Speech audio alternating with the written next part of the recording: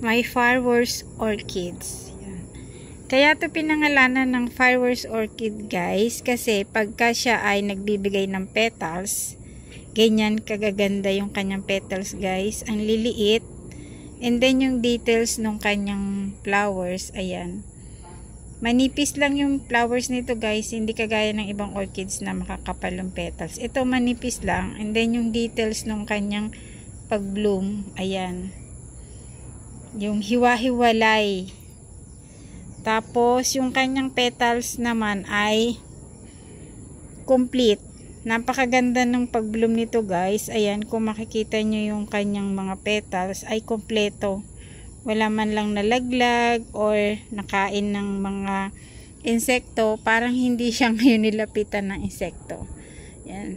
Napansin ko naman guys, pag nag-uulan, hindi masyadong maraming insekto pag umuulan. Pero pagka yung walang ulan, ayan, napakadaming kalaban sa mga bulaklak.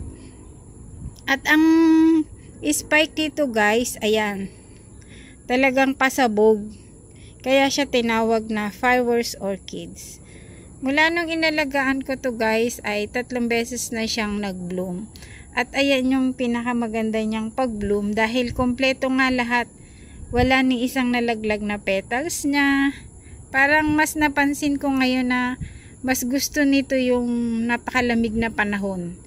Yung ngayon na hindi masyadong mainit. Kasi nung unang nag-bloom siya, medyo summer pa yun natutuyot itong mga petals niya ayan pero ngayong third bloom niya malamig na yung panahon nag-uulan pa ayan yung kinalabasan guys kaya napansin ko na mas gusto niya yung malamig ang panahon ayan yung details guys napakaganda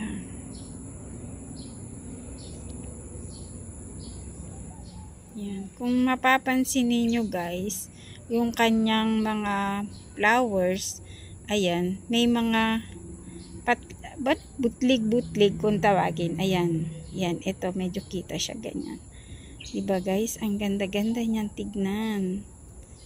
Ayan yung aking fireworks orchids. Eksakto naman at malapit na ang ating New Year. Thank you for watching guys. Bye!